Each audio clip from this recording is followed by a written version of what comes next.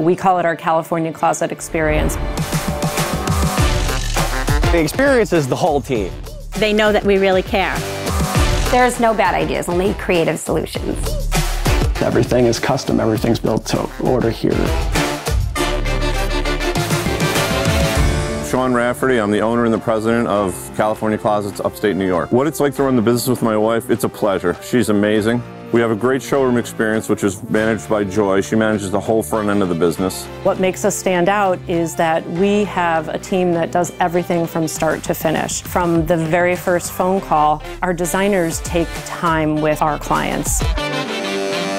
The whole process is really what we're selling. It's not just the products, it's the design, the expertise. It's making them feel confident that their issues are no longer going to be issues anymore.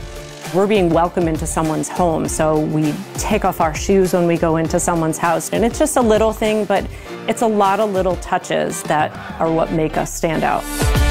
The installers are super respectful and delightful in my space and have just been a joy to have in my home.